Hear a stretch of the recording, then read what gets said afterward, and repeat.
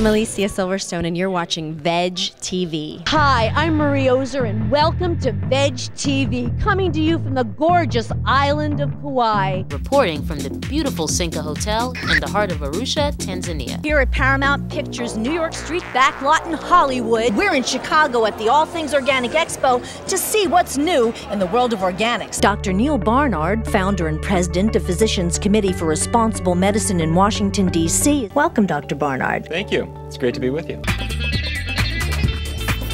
We are going to explore the northern state of Rajasthan. What's it like being a Raja in the 21st century? You know, to be a Raja in this sanctuary, it's, it's, it's a very easy job. We jumped into jeeps at the Raja's palace, came out into the countryside to visit the Bishnoi people. We're in Goa, a tiny, gorgeous state on the west coast of India. In Udaipur with Ritu Sharma. We're at an eco retreat in the Aravalli Mountains, Santa Barbara here in Southern California at the Beverly Hilton Hotel, Anaheim Convention Center.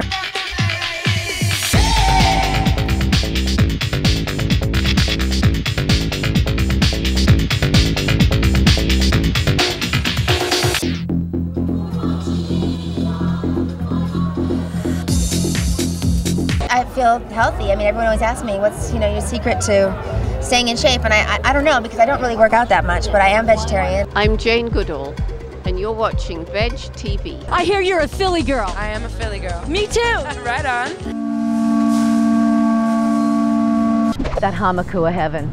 Why is it called Hamakua anyway? The Hamakua Heaven, the reason why we call it that is because the main ingredients come from the Hamakua coast of Oh. the Big Island. Tell us how you made that. The tofu was marinated in like ginger, soy, some lime juice, a little bit of chilies. Hi, I'm Sean Astin and you're watching Veg TV. Hit Veg TV!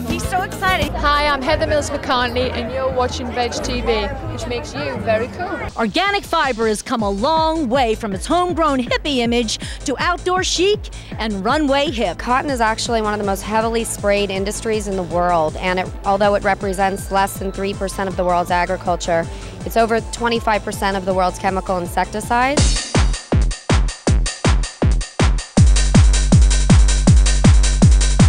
Farmers were all organic back then, and that's what we're doing today. Well, here I am, back to the future at McGrath Family Farms in Oxnard, California. And you know what?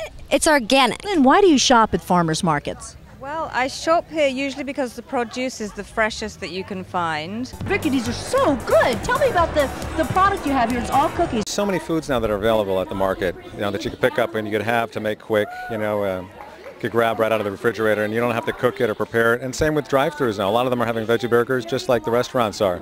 So it's really very easy.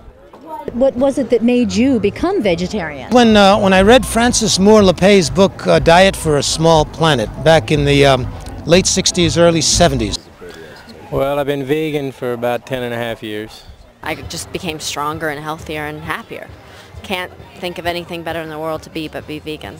Cancer runs in my family. My father died from it, my aunts, my uncles, and uh, down the line cousins. I just decided, you know, I'm going to break the chain. As an animal person, you do think about it. Your compassion has given you pause. That's a well, good way to put it. You're right. That's very well said.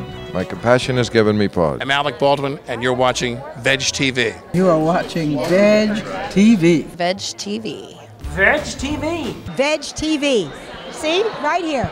Veg TV. It was very good to talk to Veg TV. I like the name of your TV place, Veg, you know, and uh, I'll go veg myself. Thank you very much.